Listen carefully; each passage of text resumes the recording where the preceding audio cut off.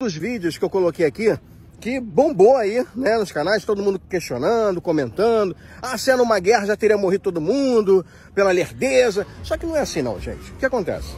Essa parte aqui, a terceira etapa, eu tô aqui no Cadim, e aqui nós temos, olha, tá ali, trator, que ele vai laminar, né, ele vai deixar reto para a colocação da esteira. Olha a esteira aqui, ó, eu estou pisando na esteira, né, estou pisando nela aí, aquela esteira pesada que o pessoal estava transportando, o pessoal falando assim, ah, mas aí o pessoal colocando isso já teria tomado bomba, tiro do inimigo. Gente, essa é a terceira etapa. Primeira etapa é aquela etapa onde existe bombardeiro na praia, né?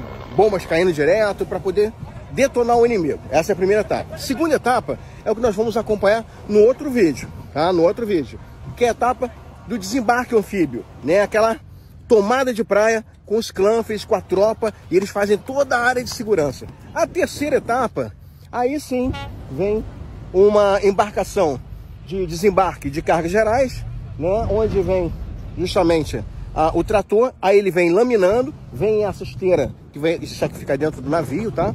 Aí vem essa esteira também nessa embarcação, e aí ele começa a fazer o trabalho. E aí, essas imagens que vocês estão vendo agora, aí sim, acabou de fazer as lâminas, né? A laminação, e aí coloca a esteira. E a esteira vai ficar assim, ó. Para quê?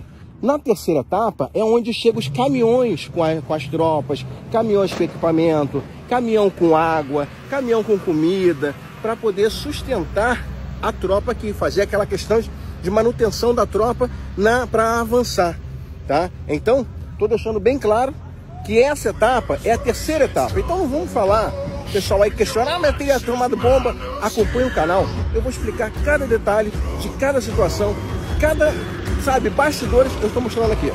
Justamente para você entender como funciona até mesmo o avanço militar. Eu vou estar passando todos os detalhes. Se você tiver alguma dúvida, pode perguntar. Ficou faltando alguma coisinha aqui para explicar para vocês? Pergunte, eu vou responder, tá bom?